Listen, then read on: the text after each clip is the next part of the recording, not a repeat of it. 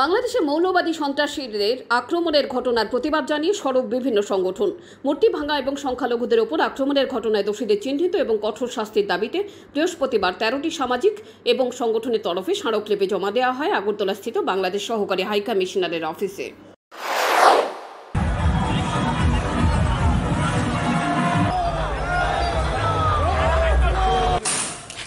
ঠিক আছে, আমি লিখে দিতেছি।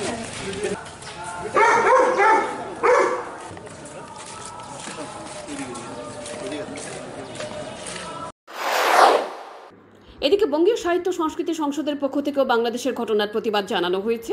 এদিন আগরতলা প্রেস ক্লাবের সামনে থেকে বের হয় প্রতিবাদ মিছিল, পরে ডেপুটেশন দেওয়া হয় আগরতলা স্থিত বাংলাদেশ সহকারী হাই কমিশনারের কাছে।